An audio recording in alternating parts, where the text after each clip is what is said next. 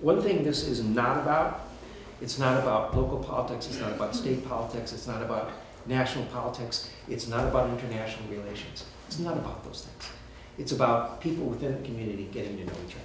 The Hopkinton Democratic Committee hosted an event called Get to Know Your Muslim Neighbor. The event was to allow residents to get to know neighbors from the Islamic Masumeen Center in Hopkinton. Good evening. Uh, my name is uh, Mahmoud Jafri. I'm one of the founding members and the life trustee of the Islamic Masumeen Center that was established here in Hopkinton almost 20 years ago. That used to be a house of worship uh, when we bought it. It does have a colorful history, as some of you who have been here for a long time are aware of that. But we bought it as, as, as a house of worship and it continues to be a house of worship. When we came to Hopkinton, 9-11 um, hadn't happened. And we were welcomed with open arms.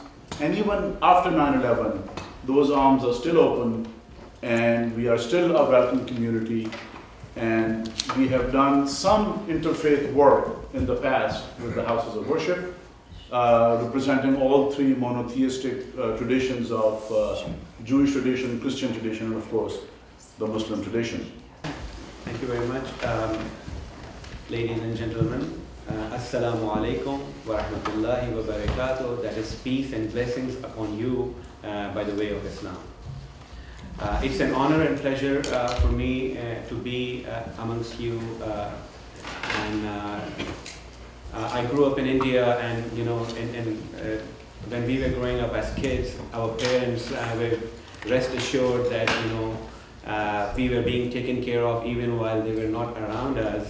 Uh, and that's how we know neighbors. And definitely the, the political rhetoric that we see today, uh, you know, creating this divide and this disparity uh, of debate is definitely causing a lot of concerns to people like me who are uh, there to, uh, you know, uh, promote and propagate the faith that I believe in, and also as a parent of two teenagers.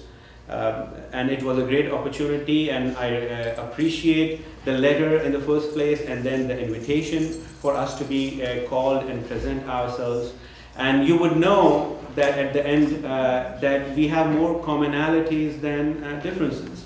And, and as a community uh, which, uh, as people who migrated and who came into this community, we have the same aspirations as you have. In fact, we have looked up to those aspirations and have worked very, very hard uh, to make it up to here. Um, uh, I grew up uh, going to a Protestant school, 150 year old Protestant school back in the city uh, that I come from. Uh, and uh, we were aspiring to go to school in American universities. I did my master's here in California, and then uh, that was my previous life when I was an engineer. And then I got into, you know, seminary, and that's how I, I'm, I'm here right now.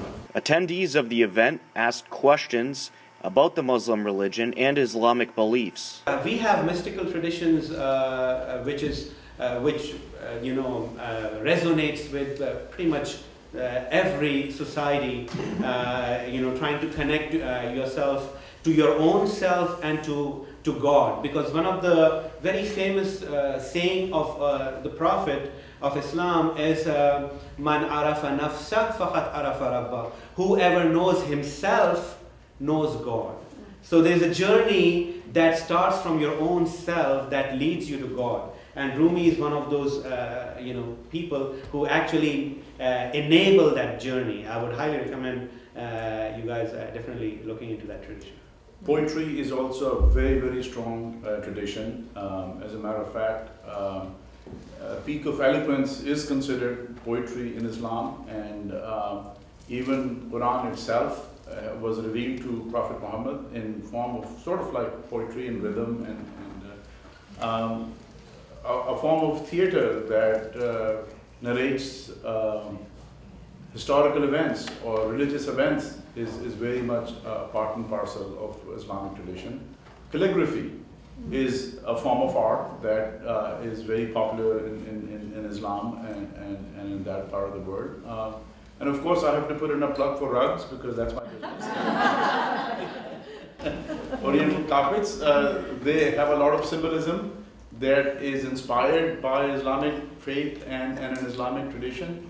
And um, so, I mean, you know, it's humans are humans, and uh, religion uh, not necessarily puts a lid on, on their desire to express themselves.